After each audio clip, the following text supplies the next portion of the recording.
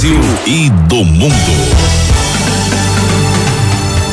Agora 3 e 22 recebendo mais uma vez Roseli Amorim. Boa tarde, bem-vinda. Boa tarde, Rodolfo. Obrigada. Boa tarde a todos os ouvintes da Rádio Onda Oeste. Estamos recebendo aqui nos estúdios da Rádio Onda Oeste a Iara Honório, também a Flávia Barbosa e a Aline Souza. As meninas que estão aí fazendo uma campanha, né? Fizeram aí um grupo nas redes sociais, no WhatsApp, no Facebook e esse grupo aí é para ajudar a os, as vítimas desta dessa tragédia, dessa triste tragédia do rompimento da barragem da, de Brumadinho. E este grupo aí, a gente estava conversando aqui agora, este grupo está contando com várias pessoas, não só de Piuí, mas de outras cidades também, e elas vão nos falar aqui direitinho. Yara, conte pra gente como que surgiu a ideia de fazer, de se mobilizar, então, para poder ajudar essas vítimas desta tragédia.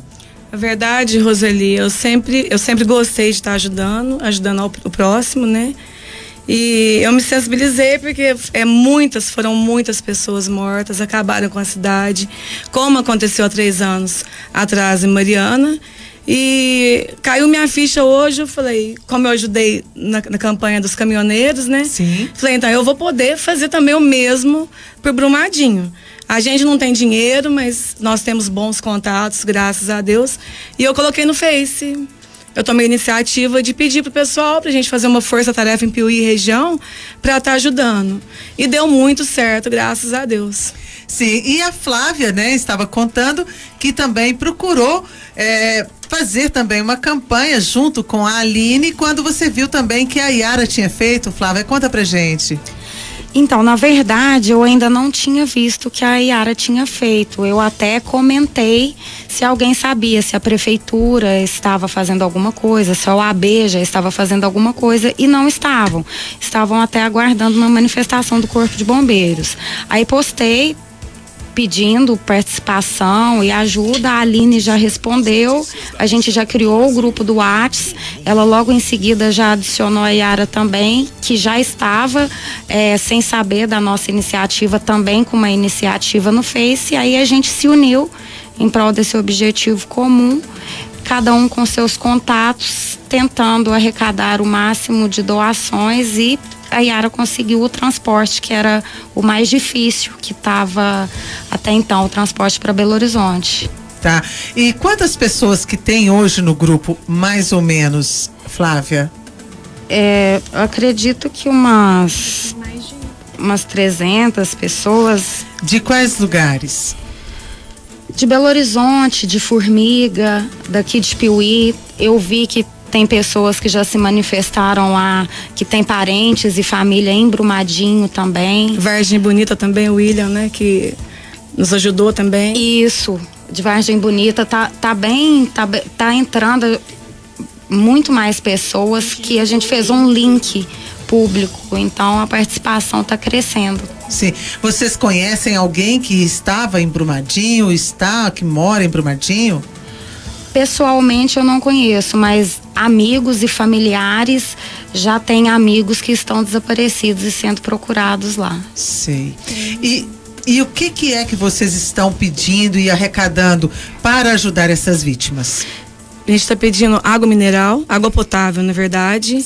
É, produtos de limpeza, higiene pessoal, sabonete, shampoo, é, pasta dental, absorvente, alimentos não perecíveis. Não é isso aí, Aline? Isso. E pedir pessoal para não doar roupa, sapatos, isso, cobertor que não precisa. Estão precisando disso. Dinheiro também não. Sim. Tá? Então o pessoal tá, tá comprando e levando, né, no, no posto de coleta. Na verdade, hoje de manhã eu, eu fiquei correndo atrás porque tá muito difícil. Eu liguei pro prefeito, não consegui. Liguei para várias pessoas. Aí eu apelei para empresário. E assim, posso falar o nome? Claro. Tá. Graças a Deus, eu falo que é uma alma, uma alma boa que foi o Zico, seu Zico além de disponibilizar para a gente o caminhão, ele não vai cobrar um real. É o Zico do Estalo. Zico do Estalo. E também é combustível, nada. Então vai deixar, vamos estar tá arrecadando e deixando um posto de coleta lá em, em Belo Horizonte. Tá, e onde que as pessoas aqui de Piuí que quiserem ajudar, onde que elas podem levar a água potável, a, os produtos de higiene pessoal, de limpeza e também os, os alimentos de, não perecíveis, onde que as pessoas podem levar?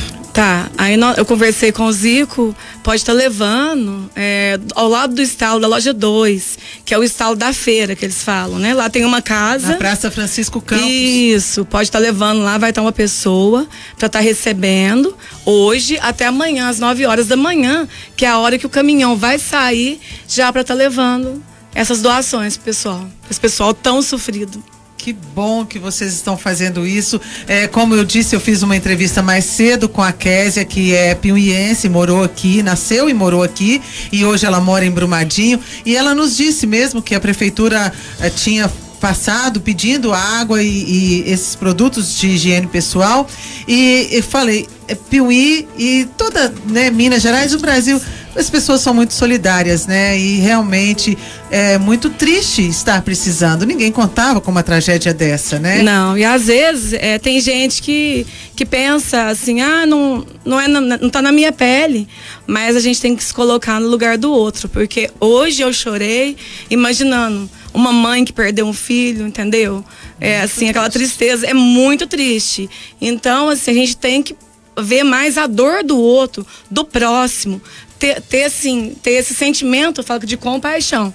Né? Porque se a gente. Tem até uma frase que fala: se a gente é, não vive para servir, a gente não serve para viver, né? É então, eu acho que a gente tem que ajudar, sim, independente de quem seja, se é conhecido ou não, nós precisamos ser mais solidários. É isso mesmo. E quem não puder doar alguma coisa, algum produto desse, que doe oração né? É, já é muito válido. Já é, é muito válido, isso mesmo. Então vamos só repetir o local e até o horário para poder levar e o que pode levar para poder estar ajudando, então?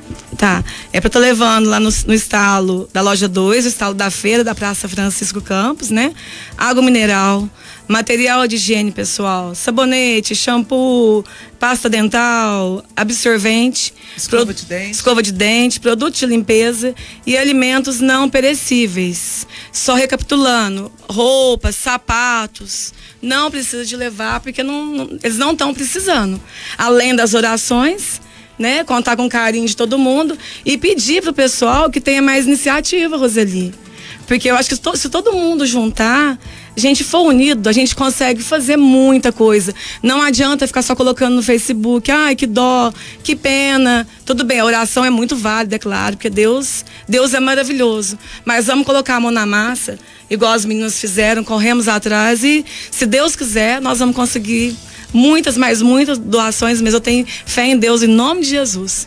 É isso aí. Então vamos todos ajudar até as 9 horas da manhã. Podem levar então os produtos que as vítimas dessa tragédia estão precisando. Parabéns, viu, meninas, Yara, Flávia e Aline, por essa por esse bonito